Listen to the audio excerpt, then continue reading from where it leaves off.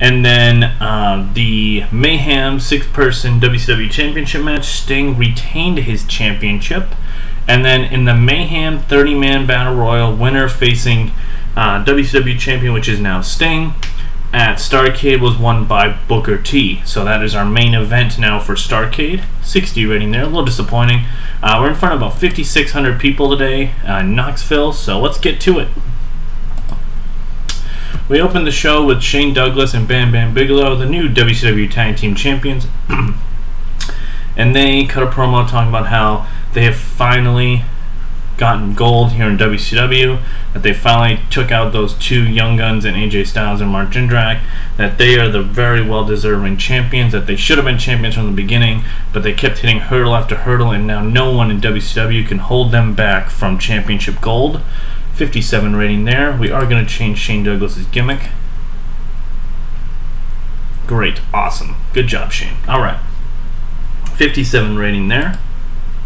However, we do get interrupted by AJ Styles and Mark Jindrak, who come out and say, Well, I hate to burst your bubble, and I know you guys feel how great that you beat us last night, but we did talk to Bischoff, and we do have a rematch clause in our contract, and we're not wasting any time. Tonight, we are using our rematch clause in the main event for the WCW Tag Team Championships. So, right off the bat, we're coming in hot off of Mayhem and into Starcade with the WCW Tag Team Championship match in the main event. 59 rating there. Jindrak and AJ are getting better on the mic, so that's good. Douglas's new gimmick is going well, so good opening to the show there.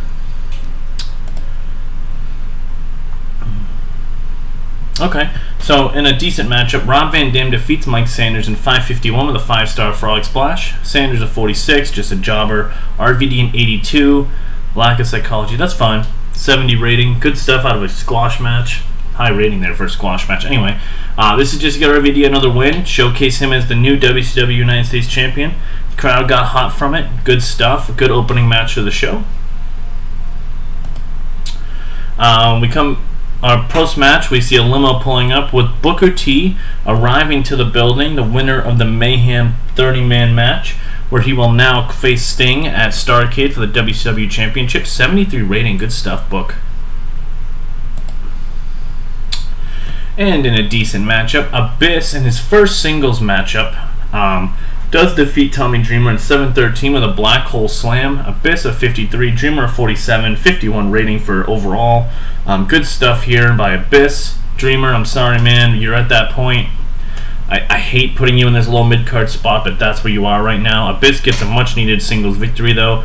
Remember at Mayhem, he was in a six person match, and Lance Storm cost him um, his spot, and then Goldberg speared him to get the pin. And then in the Mayhem 30 man battle royal, Lance Storm uh, was instrumental in eliminating Abyss. So obviously, there's more stuff coming there. Um, and then post match, Abyss beats down Dreamer as Mitchell cuts a promo on Lance Storm that this is your fault. You're the reason that Abyss is doing this to Tommy Dreamer. Lance Storm, you're the one who has to explain to Tommy Dreamer's family why he can't provide anymore because of what you did last night.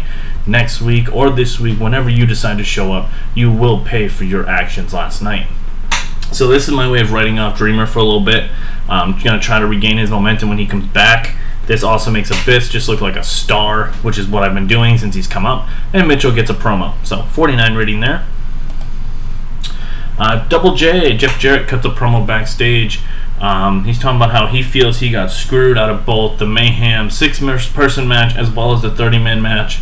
Uh, he feels he's the rightful number one contender for the WCW Championship and he's tired of being held back here in WCW. 65 rating. As he goes to continue, he gets interrupted by big sexy Kevin Nash. And Nash says, dude, why why are you whining and complaining constantly about this? Look, you lost both matches. I lost too. It is what it is.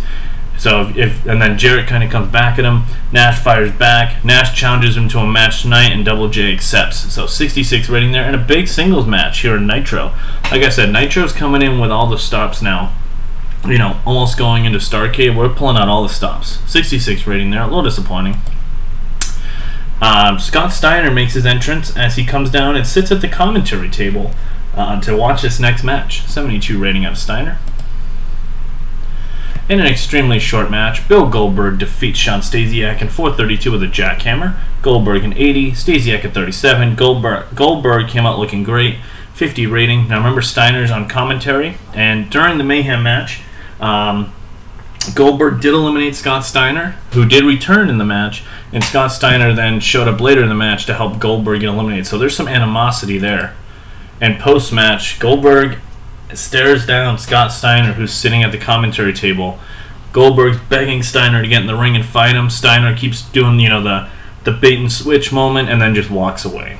So that that match is coming though. Goldberg and Steiner, it's coming. 69 rating there. Backstage, the militia cuts a backstage promo talking about how they need to stop worrying about all this other nonsense and start focusing on bringing gold to the militia. Lil Guido says tonight I will find a way to get that cruiserweight championship since Shane Douglas is or Shane Helms is doing an open challenge. I will bring that cruiserweight championship back to Militia and Ray and Super Crazy. It is your job to get the tag team titles over to the Militia. 65 rating out of Mr. Guido and the Militia, of course. Shane Helms comes out and it's a huge promotion. Excuse me.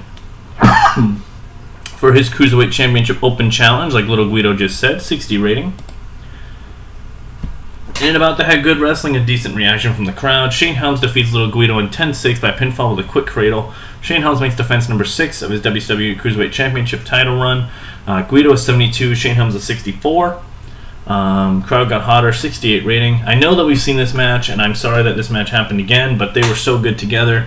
Um, I wanted to do it one more time and help build towards a Starcade match that I had in mind. So, and post match, the militia beat down Helms in a 3 on 1 assault um, until the referees come out and stop the beating. 63 rating there. So, obviously, the militia are now pulling their attention back to Shane Helms, who Shane Helms thought he was done with. Um, with Guido and them, but I guess not. I guess the battle is back on after a few months away. 63 rating there. Uh, we get a segment uh, with Sean O'Haire and Scott Taylor, um, starting to show more uh, friendship, I guess. Um, and they are going to be a team going forward. But it shows them uh, out on the town with the fans that Sean O'Haire is starting to give in to Scott Taylor's kind of funny side, and Sean O'Haire starting to show a little bit more personality. Uh, they're going to be kind of that like weird oddball pairing. So something good there. 42 rating, not the greatest, but we'll get there. Oh my God, why is Dawn Marie so horrible? Okay. Uh, Buff Bagwell cuts a promo introducing his new girlfriend Dawn Marie, who are now going to, who are self-proclaimed the power couple of WCW, and that they are going to take out Billy Kidman and Torrie Wilson and wipe them from the roster.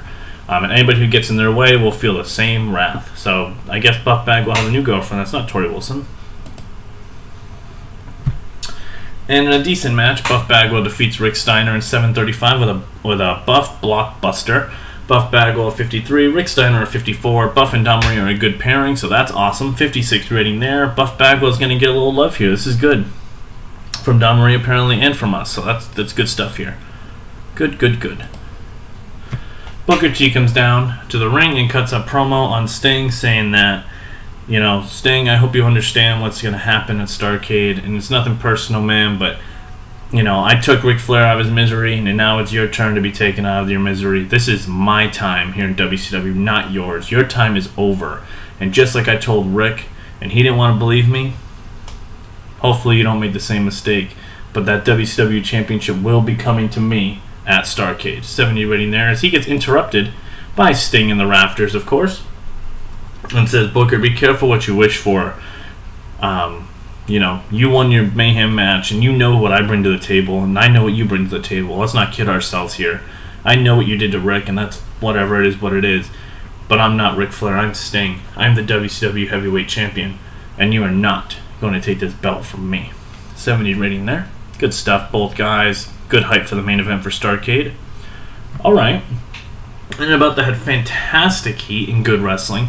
Kevin Nash defeats Jeff Jarrett in 7:52 when Jeff Jarrett intentionally gets disqualified uh, by two guys attacking Kevin Nash. Uh, Jarrett at 68, Nash at 69. Jarrett and Nash have great chemistry, which is awesome. 70 rating. Um, Masked Man 2, awesome. So we have two masked men who are beating down um, Kevin Nash here. Um, Post match, can't believe this is such a good match. Awesome.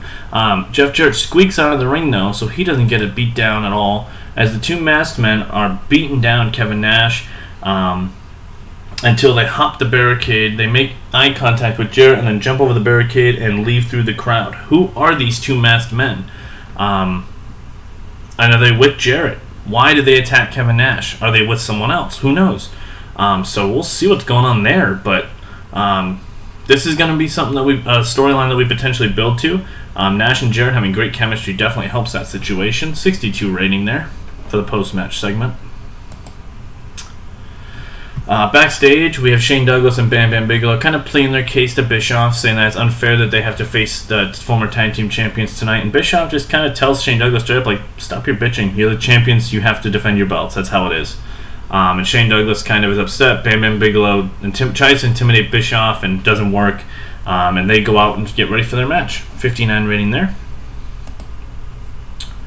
And in our main event of the evening, and about to have good heat and decent wrestling, Shane Douglas and Bam Bam Bigelow defeat Pinpoint in 938 when Shane Douglas pins Mark Jindrak with a handful of tights. Uh, Douglas and Bam Bam Bigelow retain for their first defense.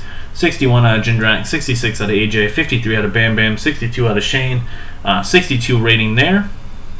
A little disappointing on the rating, but solid main event either way for the WCW Tag Team Championships. Uh, Pinpoint does come up short, so we'll see kind of how that goes because they, they lost their shot at the rematch, so they're going to have to go right back to the end of the line. And Shane Douglas and Bam Bam Bigelow are all smiles as they go up the ramp as they snuck out another victory from Pinpoint and retain the WCW Tag Team Champions. Again, low rating, not great, but it is what it is. Um, let's see what we get for a rating for the show. I'm, I'm assuming, I'm going to guess a 70. Ooh. How did we get such a low? That 35 killed us. Yeah, dang. Okay, well, unfortunately, a little bit of a low low one here. I thought we had a good show, but I guess not. Um, that is what it is. That's wrestling, right? That's how things kind of go. Um, but you know, we lost popularity in 13 regions, is what it is. But we gained in five, so we're getting there. It's okay. Um, that's all I really got to say about this one. Hopefully, you liked it. Hopefully, uh, um, you know, hopefully you liked the video. Hopefully, you are enjoying the series. We're on our road to our biggest show of the year. Um, which is Starcade 2001. So hopefully, looking forward to that. Um, but like I said, like, subscribe. We're going to keep this going, and we'll see you next time for the next WCW Monday Nitro.